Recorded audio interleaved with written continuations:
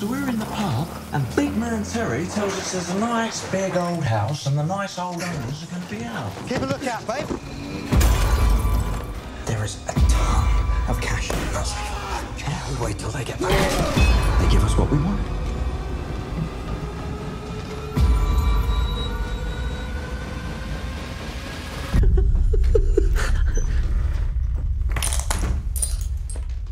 Richard?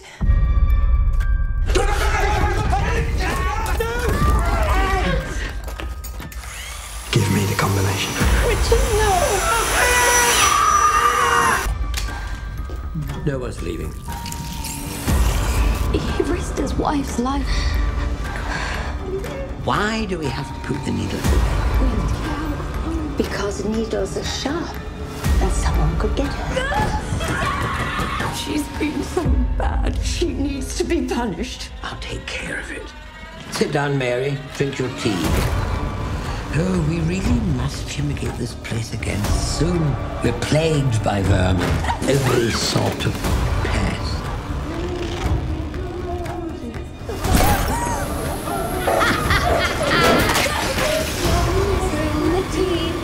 doggies in the pot, babies in the stall.